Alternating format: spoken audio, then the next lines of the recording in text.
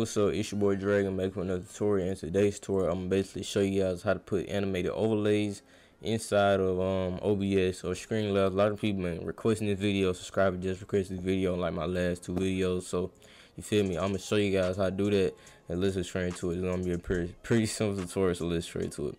First thing you want to do is go down here, hit this plus button, and just make sure you do this. Then you want to go to media source, hit OK, then go to loop.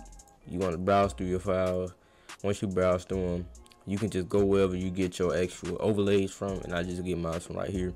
The stuff I want to bring in any overlay. I'm just click on the random one this one right here and hit OK so I brought it in and that's how you bring an overlay. It works the same way with different type of overlays. So let's say if I'm gonna show you guys I bring in another one just in case you had trouble. Make sure you hit loop browse go to wherever you get it from. I'm just drag this down I'm gonna get a, a different one I know this overlay is different. This is how you bring in um, overlays. It works with any type of overlay.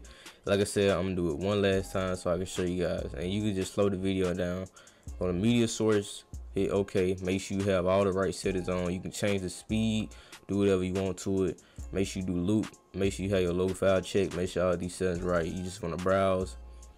Go pick a file and I'm gonna pick one different overlay just show you guys it works with anyone. So let me just try to find another old one.